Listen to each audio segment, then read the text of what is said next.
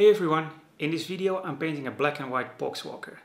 I got the idea for this one while I was painting another one in green and purple, but somewhere halfway through that one was black and white and I figured I would just do a video for something like this.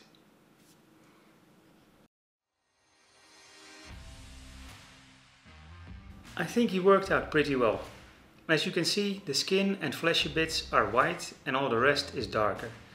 I went for a darker color the harder the material is supposed to be. So the pants are gray, but the weapon is black, and the spikes coming out of his back are a gray somewhere in between those two. So to start, I always do a zenithal highlight. And now I'm starting with Eshin Grey on the pants, the weapon and the spikes. I'm dry brushing this on, just really quickly. Then I dry brush Grey Seer all over his skin and I do it quite heavily there.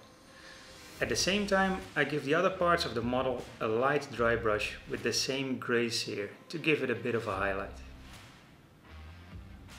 Now the model gets a wash of Nuln Oil. Just cover the whole model in it, but don't let it pull too much. Now to give him some strong highlights I'm using Praxeti White. I'm starting with the face and I make that really bright. And then I go over the rest of the skin with a light dry brush. I want to darken the weapon a bit more, so I just dry brush on some Abaddon black. And I do the same with the tips of the spikes on his back. Now I'm doing all the buboes in black with a fine detail brush. If you want, you could pick a really bright color like red or a bright green to make them stand out even more. You can go for a cool Sin City vibe with bright red blood and gore here, but I'm sticking with black and white. The weapon was a bit too plain being just black, so I gave it a dry brush of Praxeti white. Instead of going with a subtle buildup of grey highlights, this will give me more contrast and it gives a different effect than the subtle highlight on the pants.